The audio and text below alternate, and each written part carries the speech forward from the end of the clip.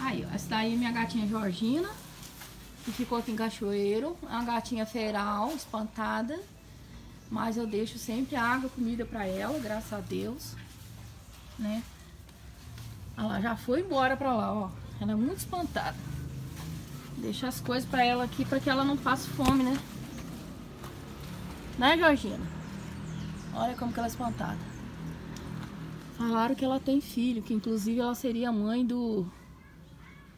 Mãe do Valdemar, né? Olha quanto pote tem aqui, ó. Tá tudo vazio. Vou colocar a ração pra você. Né?